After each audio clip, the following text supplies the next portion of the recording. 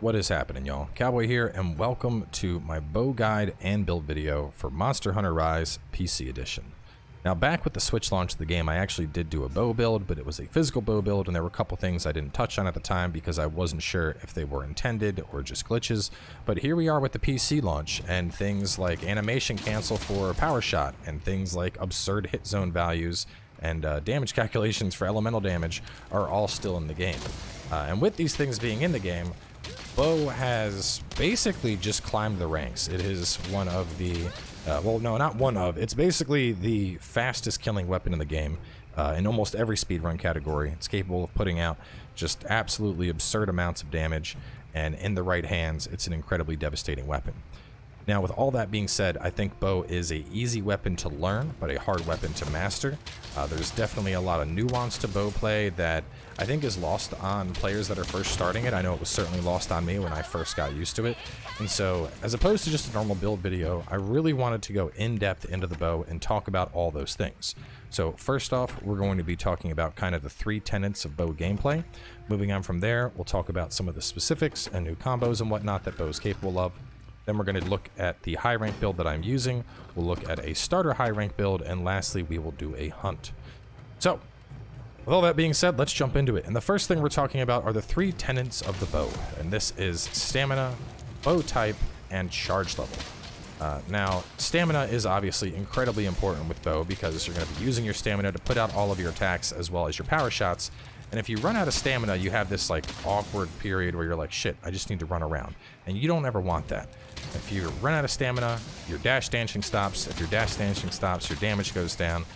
And so there's a couple different things that we can do to help mitigate that. The first, of course, is going to be stamina skills, and these are uh, obviously going to be more prevalent in late game, but things like Constitution and Stamina Surge are incredibly important on the bow. More so even than your damage skills, things like Weakness Exploit, I would consider Stamina to be more important than that. Now beyond that, there are a couple other things we can do to help with our stamina. Uh, very early on, we can start making dash juice. Dash juice is incredibly potent. And you'll see that little yellow square we have up at the top next to where it says waifu. Uh, dash juice is going to just give us some absurd stamina regeneration. You can see how fast my stamina is regenning uh, in between these power shots and whatnot. And beyond using dash juice, there's a couple other ways we can also get that buff. One of the first is while we're running around, those little yellow butterflies that we see in the map, they will give us that buff. And then besides that, there's actually a Palico skill that will also give us that buff. So if we go over to buddies, uh, right here, go fight win. You want to have a Palico that has go fight win if you're playing with bow. Because between that and Dash Juice and the uh, little yellow butterflies, you are able to basically maintain that stamina buff, and it's going to make your life a whole lot easier, especially early on when you're not going to be loaded up on Constitution and Stamina Surge. So Keep in mind, stamina is going to be king here. There's ways to manage that, and you want to take advantage of them. Moving on from there, as I mentioned, is going to be bow type, and with bow type is going to be positioning. Uh, now we have three main types of bows in Rise, and this is a big difference from World and Iceborne. We have rapid fire bows, pierce bows, and spread bows. Rapid fire bows work by shooting out increasing quantities of arrows, so two, three, four, four. In addition to that, our damage is going to go up. Uh, pierce bows are kind of like the sniper bow of the game. They're used from much farther back, and they're only going to shoot one arrow, but it's going to have increasingly higher levels of damage. Uh, spread bows are kind of like the shotgun of the game. They're going to be played very close up, and they're similar to rapid bows in that the amount of arrows you're shooting out is going to increase, uh, but you need to be in that close range, and it's also going to have a wider spread on your actual volley. So all in all, I very, very much prefer rapid fire bows. I just really like the approach of like loosing multiple arrows. Uh, pierce bows I actually like for certain targets, things like Narwa, but spread bows I just don't really use. Um, I mean, this is just my opinion. I think pierce or I think rapid fire bows are just superior to spread bows. But if you really like spread, then hey, you know, have fun getting up in the target's face and playing with spread. Um, but anyway, the point being that your positioning is going to be determined based on the bow you're going to play. And in particular, this orange reticle, that's a good indicator. So right now, we are in the ideal range. I'm going to be able to get my maximum damage. If I go too far back, though, you can see it changes to yellow. This range would be great for Pierce, but it's not going to be great for Rapid. In a similar similar situation, if I get too close, it goes yellow again. This would be a great range for spread, but not for rapid. So keep in mind your positioning is going to be dependent on the type of bow you use, and not only from a, uh, a distance to the monster perspective, but positioning in general with the bow is going to be incredibly important. Uh, probably one of the biggest strengths of bow is its ability to snipe weak points and kind of just dance around the monster avoiding damage you know, every time the monster charges, you're dashing out, you're getting a power shot, you're hitting that face, and positioning really is going to be king with the bow. Uh, I'd say, you know, more so than a lot of weapons, because keep in mind that with bow, we are squishier. We don't have as much defense as melee weapons, uh, and so dashing out of attacks while still maintaining uh, the ability to hit that target, whether it's going to be the head or the forelegs or whatever you're aiming at, that is going to be very important, and it's something that's going to take practice. The last thing I want to talk about is the charge levels.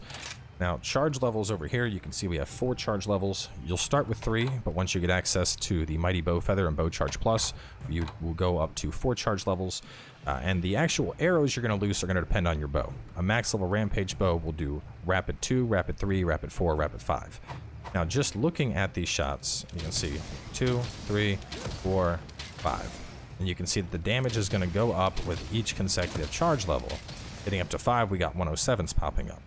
Uh, now, that charge level will also go up from charging sidestep. But the thing is, ideally, we want to maintain our charge level to be at 4 and 5 pretty much as often as we possibly can. Uh, you know, that's where we're going to get the most damage. We don't really want to be dropping from that at all. And like I did right there, where I basically reset, you don't want to have that reset. You know, if you're going down and you're shooting at a level 1, you're just missing out on free damage. So you don't want that to happen. Now on top of that, certain abilities are also going to take on the potential of our charge. If we're at a max charge and we shoot and then we go into our power shot and power volley, those are going to be at a high level. If we try and do those too early, you can see the damage isn't going to be as high. Also, this is going to apply to our aerial aim. If we do our aerial aim while we are already charged up, you can see we're seeing 140s pop up. Whereas if you do it when you're fresh, you know, the very last shot had some 140s, but basically what's happening is we are having to charge up going into aerial aim versus doing aerial aim already charged. So always keep in mind your charge level when you're shooting. I'm almost never going to start with a shot. I'm always going to dash before I do a first shot, and then from there I'll consider going into damage. If you really want to min-max, going into two charges will actually put you straight up into four and five, but you know, as you can see, that's going to be a lot more costly on stamina, so keep that in mind. Now, moving on from that, uh, now that we covered those three things, let's talk more about the combat of the bow and some intricacies. So we've already kind of been talking about charge level and how you always want to start off with at least one dash, two if you can afford the stamina. Uh, but taking a look at our charge level and our shots, you can see two distinct things, both the color of the bow as well as the animation. You can see when our hand goes all the way back, that indicates we're at a max level. And our hand's going back twice because we have bow charge plus, Typically, it would end right there, and after that, we would be back down to a normal one-shot. But that is kind of the cue you want to look for, is that and the color of the bow. Now it's red, red, red, orange, white. Well, I guess white, yellow, whatever you want to call it. Uh, but you want to look for that indication. You know, when the bow hits that, that white and yellow, that's when you want to go into your power shots that's when you want to go into your, your aerial aim or your Dragon Piercer. We're actually never going to use Dragon Piercer. We'll talk about that in a bit. Uh, but keep in mind that that's, that's what you want. Either the animation of your hand going all the way back or the bow having that yellowish white glow. That means that you are in big dick damage mode, and that's where you want to stay. Uh, so to get that, obviously, you know, doing a couple dashes is going to be great. And the thing is, once we have already hit that level, you can see we're maintaining that. Even though we're just dash dancing back and forth, we're maintaining that level 5 charge. And we can just keep going into it. Um, so that's that's going to be one of the big things here with bow, is once your charge level is up, maintain that charge level. You know, after your power volley, you can do it again. Uh, and you can just keep dashing. So your dashes, well, just to just to break it down, uh, you can keep charging sidestep you can also charging sidestep, power shot, power volley, and then do it again. What I'm talking about is this. So if we go... Well, let me just build it up. So we get up, we can go power shot, power volley, we can dash, shot, power shot, power volley, we can dash. Well, I ran out of stamina there, but you get the idea. You can basically do a shot, shot, volley. Or, or a, uh, a regular shot, a power shot, and then a power volley, and then you're going to dash and do the same thing. So just hitting those three moves, that's going to be kind of your maximum damage. And if you have wire bugs, you're going to want to add in aerial aim after the power volley pretty much anytime you have it available because of the damage that's capable of. Now, on the note of Dragon Piercer, honestly, Dragon Piercer just isn't that good in this game. Uh, taking a look at the damage Dragon Piercer is capable of, even fully charged up, we did 1238 there. Now, by comparison, we're going to let that reset, and we're going to do an aerial volley.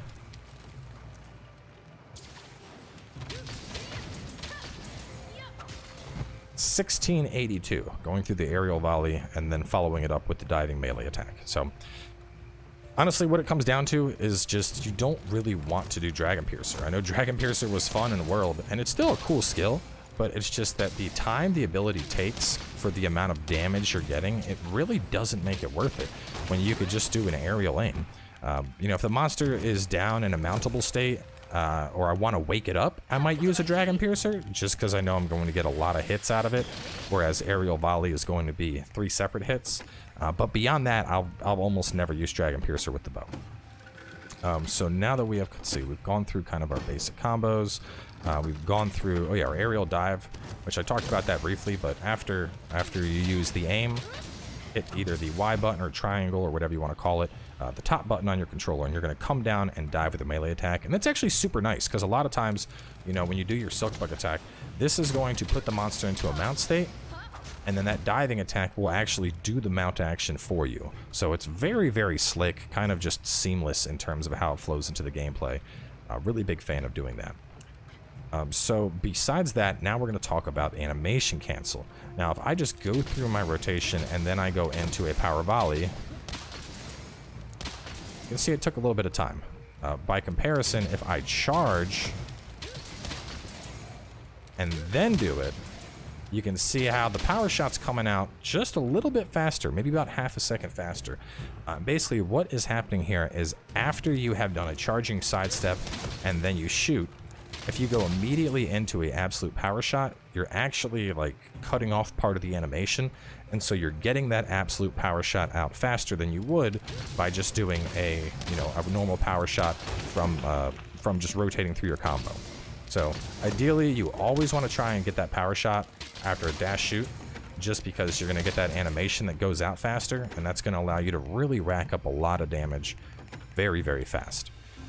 So, I believe trying to think. I should have made a list before this video, but I think that covers uh, pretty much everything that I wanted to cover in terms of the combat intricacies with bow. Obviously, you know, you're able to just do insane amounts of damage by rotating these combos. So let's go on over, take a look at the gear and the build, and, uh, you know, we'll move on from there. So uh, I have five primary bow builds. Uh, the only difference between them is going to be the element, and it's going to be the same for pretty much every single bow. First off, we have the Rampage Bow. Uh, with Rapid, you're going to want Attack Boost 4, your Element at level 3, Firing Rapid, Power Coating, Exhaust Coating, which adds 10 additional raw to the weapon, and then Arc Shot you're not really going to use. I didn't talk about Arc Shot, but Arc Shots have changed from how they are in World and Iceborne.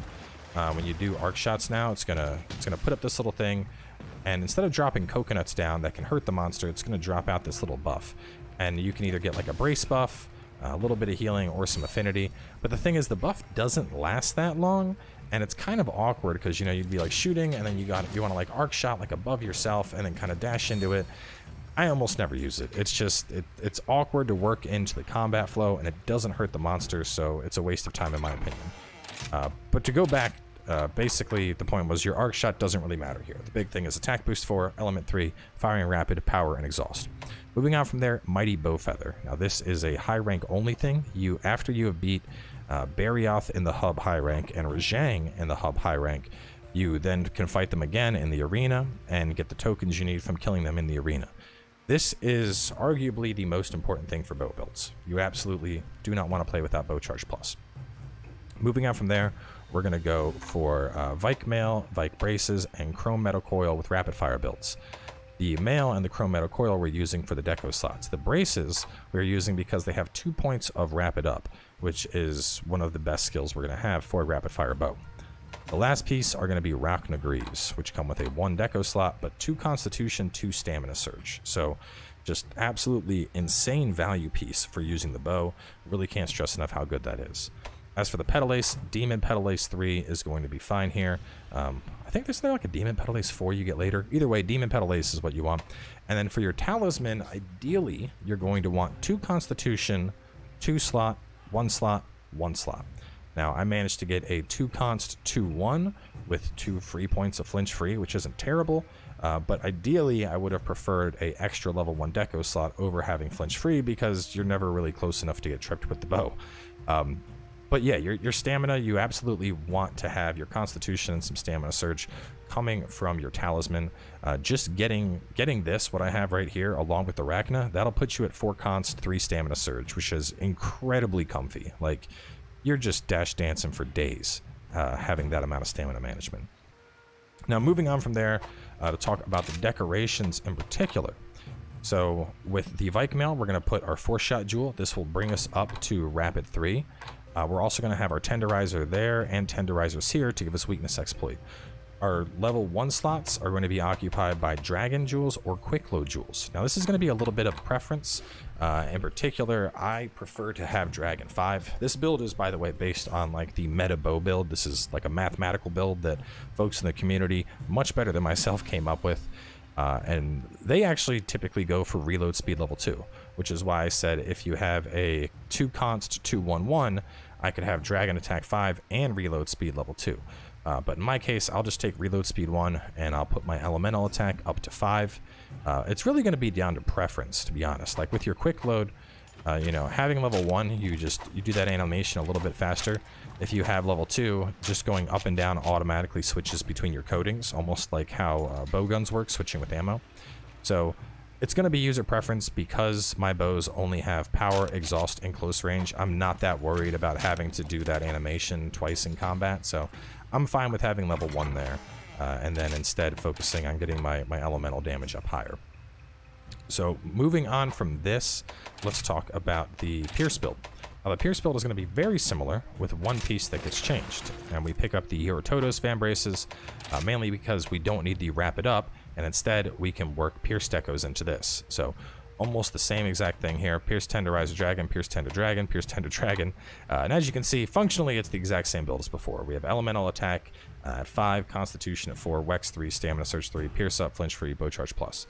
Uh, on targets that don't have good tenderizing hit zones, which is pretty common with Pierce, instead of Weakness Exploit, you should go for uh, either Peak Performance or Attack Boost.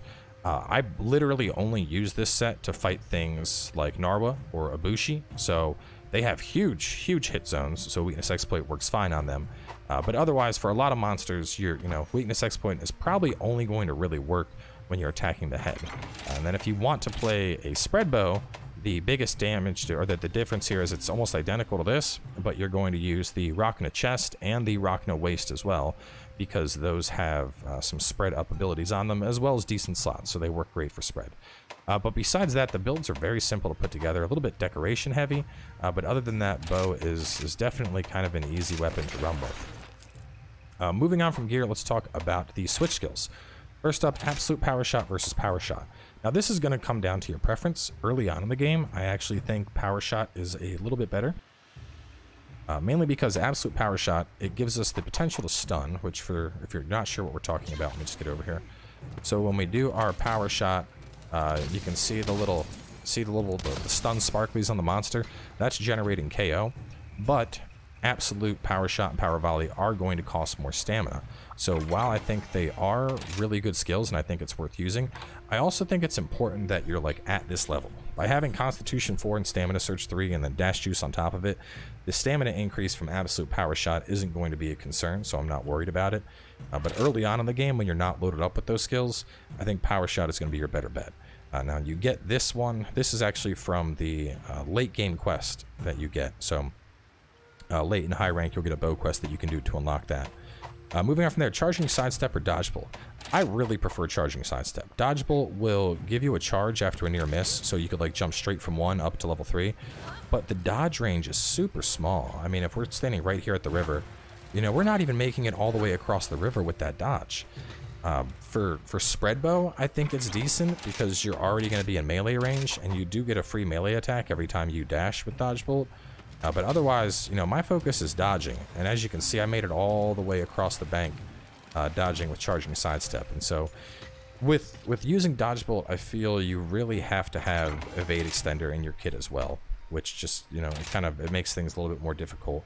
So personally, I prefer charging sidestep. I'm just a lot more comfortable with it. Uh, as for aerial aim versus focus shot, aerial aim is king here. Like there's there's no question. Yeah, you can play with this at the start, uh, but as soon as you unlock aerial aim, you're going to want to use it. Now, uh, charging sidestep or dodge bolt, this is from the lower rank quest. I think you get this as soon as you hit like was it hunter rank 3 maybe or even lower than that uh, whereas getting aerial aim this is from crafting bows it should be eight different bows or uh, a combination of bows and upgrades to unlock aerial aim so you know making your bows will get you this and then you can really start dumping out the damage uh, but that's what I would suggest absolute charging and aerial aim absolute only when you're in late game when you have lots of stamina so I believe that covers all the build nuances. Let me jump over. Uh, the last thing I want to do is uh, talk about a starter set. So we're going to go over to the hub prep area. Uh, now this is a starter high rank set. As for low rank, I mean, just use whatever. It's low rank. It doesn't really matter. Uh, but once you get into high rank, there's actually a very nice set you can put together uh, relatively early. And those three pieces in particular are going to be Spio, Actually, no, Spio. Yeah, never mind. Honorable Drawn Plate is uh, low rank. So yeah, Spio is going to be great. Gives us two points of Wex. So pick that on up. Uh, after that, Izuchi Braces. This is going to give us two points of Constitution. And then as soon as we hit HR2, we are able to fight Tetranadon and pick up uh, normal up there, normal up there, and normal up on his legs. So just running those three pieces is, is actually pretty nice. It's going to give you uh, normal rapid up level 3, constitution level 2, wex level 2, and you get a free point of evade extender. By that point, you can make a talisman, so your constitution will actually be at level 3. Uh, but that is basically what I would suggest using for most of your bow gameplay through high rank. Uh, as you get a little bit higher into the game, there's a couple other pieces that you can work in uh, the Pukei chest, for example, has two points constitution, so you could go for that. But of course, you're going to be losing out on uh, on some of your, your shots. Uh, moving down from there, I think the next big... Oh, Vaik is, of course, big. And you get Vaik midway through. That's giving you two points of normal Rapid Up. So when, when you get up to the Vaik braces, you can switch over to that Pukei chest. Um, but the big thing, the biggest thing probably, is going to be uh, once we get all the way to Rakna, just because two points Constitution, two points Stamina Surge, that's where you're really going to start to shine. Which, by the way, for those curious, this fashion is just uh, Rakna pieces along with the Spio Waist and then the uh, Bow Helm. So really, really nice fashion. I'm a big fan of. But yeah, that's going to be it. Tetranadon along with Izuchi, along with Spio. That'll allow you to get in some decent damage in high rank and, and you know, kind of push you where you need to be uh, to really start putting together the sets. But all in all, I mean, bow is an absolutely fantastic weapon.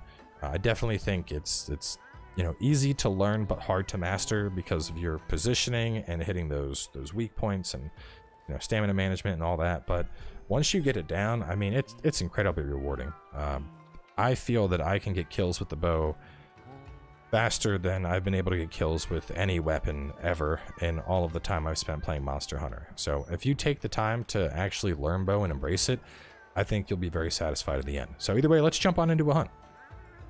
So for a hunt, we're going to be going after a Rathalos. Um, you know, just kind of a fun target to go against. Very good hit zone values, being able to dump out a ton of dragon damage into the head. Uh, and one thing I didn't mention, but this is, I guess, more relevant pre-hunt, uh, but when you are going to be going after your target, before you hunt, you should eat for something called Dango Marksman. It's just going to increase the damage of your arrows, so definitely something that is worth getting. Uh, let's go over here, get some of this.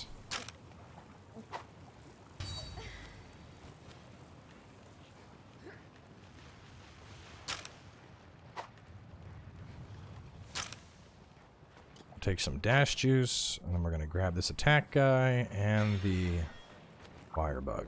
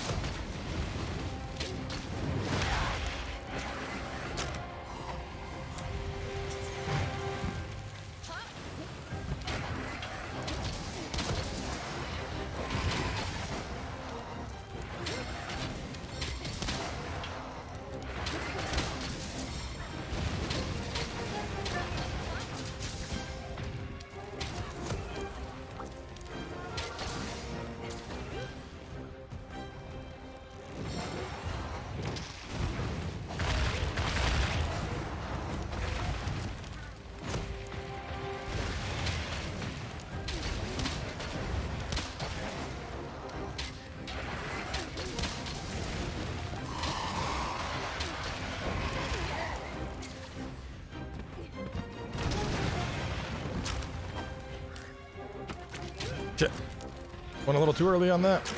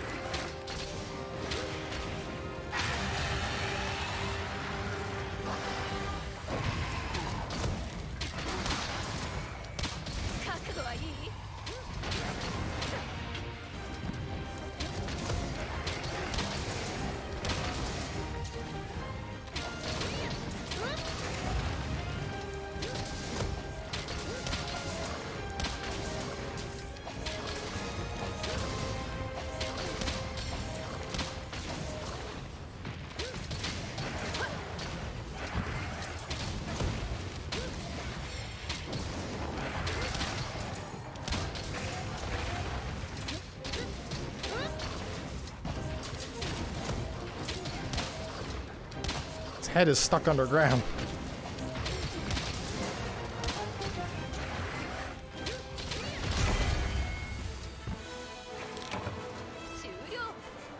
And that's a dead rat. So, um, yeah, if y'all watched uh, my old bow video, you might remember, uh, I think it was like a 10 minute hunt, and that was a sub 5. Uh, yeah, it's, it's, and I, I'm not like, I think I'm competent in bow now, but I'm not even that good. Um, you know, there are people people that are like really good with the bow, like speedrun people. This is like a two and a half, three minute hunt for them. Um, I don't even know if I can see the. Uh, yeah, 339 completion time. So, all right, that's actually pretty good. That's better than I thought it was. But yeah, I mean, point stands. Bow is just an absolutely devastating weapon. Uh, and you know, even making a couple mistakes, getting bopped early and, and eating a max potion real fast just the amount of damage that you can do with the bow. It's it's just incredibly aggressive and devastating. So definitely a weapon you need to spend a lot of time with but when you do man is it rewarding or what? So that's going to wrap things up here. Um, for those curious i'm not going to be doing videos on every weapon in rise. A couple of those weapons i did extensively back on the switch uh, but the weapons I didn't play with as much, things like the bow and things such as the greatsword. Uh, I'll probably do a greatsword video after I get more familiar with that, but the bow I definitely wanted to do because, you know, I played the whole game with it and I, I think it deserved a second look. So, we're wrapping this one up here. Thanks for coming on by. Drop any questions y'all have below. I'd be more than glad to answer. And other than that, I'll catch you next time.